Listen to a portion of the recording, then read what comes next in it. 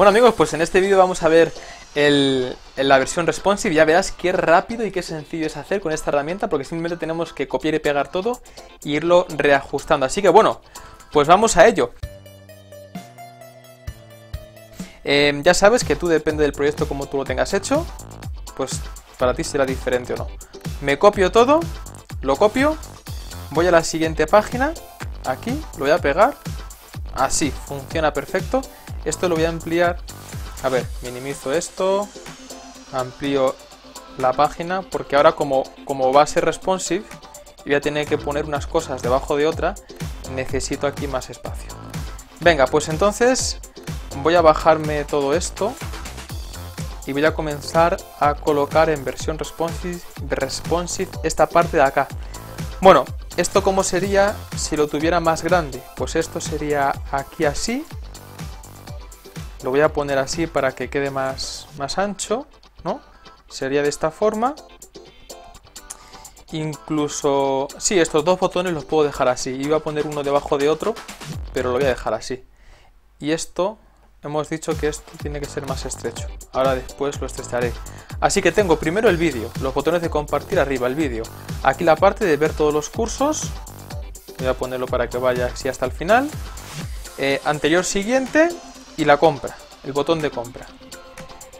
Y ahora ya aquí vendría lo de suscribirse, la explicación en texto, la parte de registro y el índice con todo el curso. Así que esto sería así, voy a poner más centrado, lo de suscribirse y todo el índice con el listado.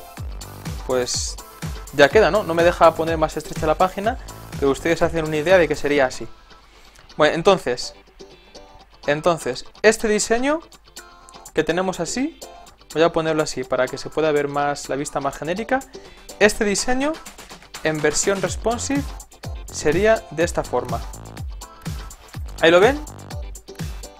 Tienen el reproductor con los botones y la parte aquí del texto, todo aquí a este lado y aquí la información del vídeo y el índice del curso y aquí sería pues todo de seguido, ¿no?